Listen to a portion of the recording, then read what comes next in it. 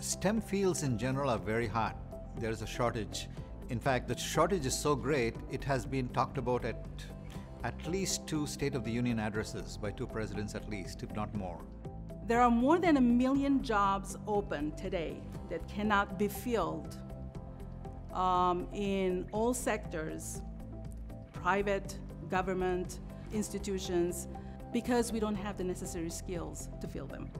The courses that you take while you're in school should influence where you're going, and you should always start relating those already in the industry. I think the opportunities in the STEM related engineering technology fields are just unlimited. You just have to take five seconds to look around at everything that's scientific, technological, communication in your hands, in your car. The Internet of Things is a buzzword people hear about a lot. It means a lot of different things to a lot of people, but it's really, truly, we're on the just the cusp of what that actually means for the future of this truly interconnected world. Engineering is very much a corporate, uh, corporate-centric um, field.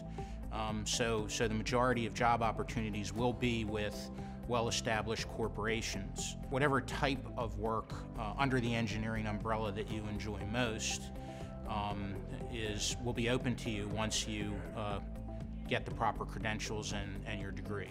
Enjoy your job because, I mean, let's be honest, you know, most of your life you spend at your job or a big portion of your life. If you're going to pursue a degree in IT or just in the STEM discipline at all, then you want to do your homework and you want to also be timely about your pursuit.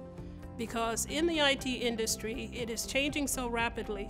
As many years ago, when you completed a certification, it was, for the most part, indefinite. You didn't have to go back and get recertified. Now that's not the case. There's always opportunities to broaden what you do just by interacting with your peers and observing around the company and continually learning and adding onto your skills. And over my 20 year career now, I've done multiple jobs I never would have thought right at that time I graduated. So never think that your first job has to define what you do for your whole career.